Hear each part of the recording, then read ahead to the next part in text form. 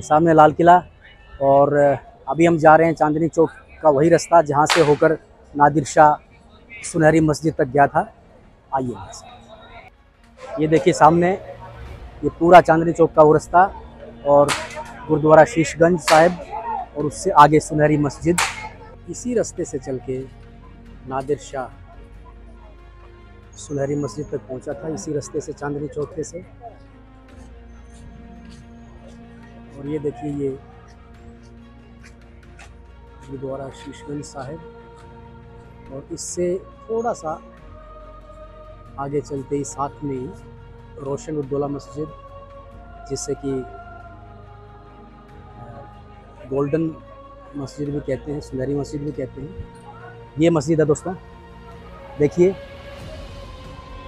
रोशन उद्दौला मस्जिद, या कहें कि सुनहरी मस्जिद, जहाँ पर खड़ा होकर नादिर शाह ने कत्ल आम का हुक्म दिया था और वो काला दिन दिल्ली में देखा था।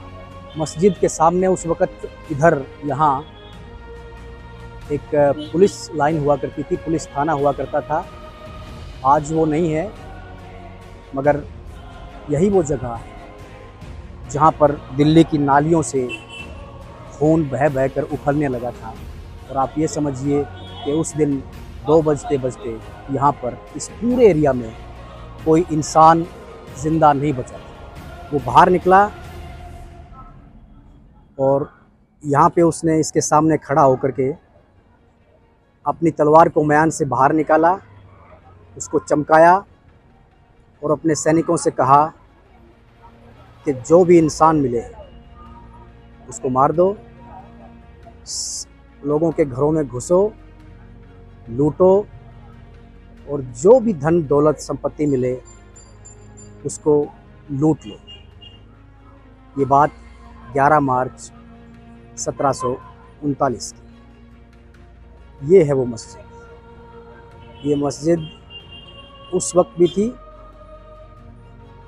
और इस मस्जिद में नमाज़ पढ़ने के बाद वो बाहर निकला और उसने दिल्ली में मारकाट मचाया। वो काला दिन दरअसल इसी मस्जिद से शुरू हुआ था। ये करीब नौ बजे की बात है, जब मारकाट शुरू हो गई थी।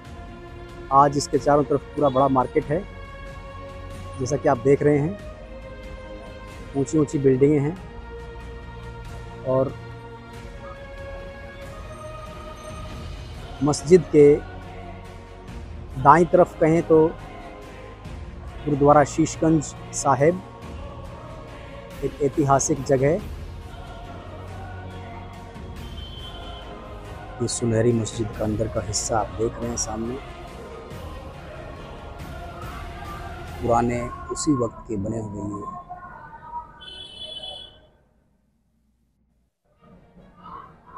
बेल बूटे और कशीदाकारी और थोड़ा आगे आप देख रहे हैं। उर्दू में और फारसी में कुछ आयतें लिखी हुई हैं।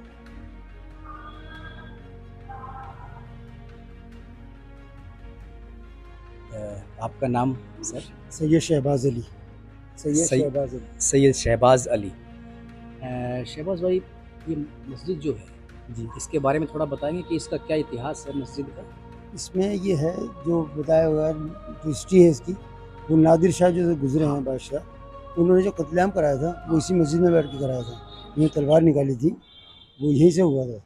तो तलवार उन्होंने पहले कहते हैं कि उन्होंने मस्जिद में नमाज़ पढ़ी थी जी जी जी। पहले नमाज़ पढ़ी थी? पहले नमाज़ पढ़ी बैठे फिर उन्होंने कुछ बात कही उन लोगों से हाँ जब ये उन्होंने इब्तदा इसकी शुरुआत करी है अच्छा। फिर वो नीचे उतरे और फिर उन्होंने तलवार चमकाई। जी वो यहाँ बैठ के तलवार ले गए बैठ के तलवार निकाल के? जी।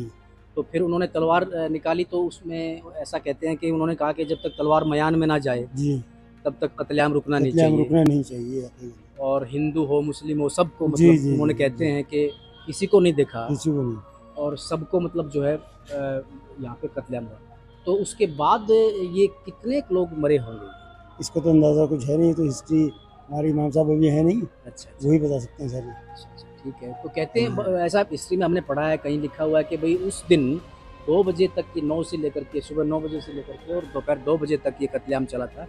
तो कहते हैं कि उस दिन यहाँ पर इस एरिया में ये पूरा चांदनी चौक लगा लो चावड़ी बाज़ार और फिर दरियागंज तक। जी जी। तो यहाँ कोई ज़िंदा इंसान नहीं बचा था। ऐसा बोलते हैं जो थे बचे थे वो भाग गए इधर हाँ तो भागेगा आदमी जब मौत सामने दिखेगी तो जो मर गए और कहते हैं कि इतना खून बहा था कि मतलब नालियों में से ऊपर नदी नदी नदी, नदी।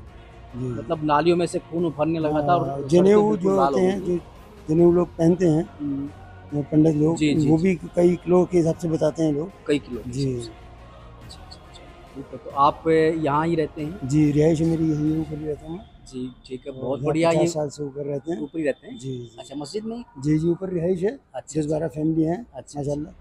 तो हम चाहते हैं कि ऐसी ऐतिहासिक चीज़ को सारे देश को जाने बल्कि सारा संसार जाने इस बात को कि भाई यहाँ पर क्या हुआ था। उस दिन ये 11 मार्च सत्रह के दिन की बात जी जी। चलो बहुत शुक्रिया।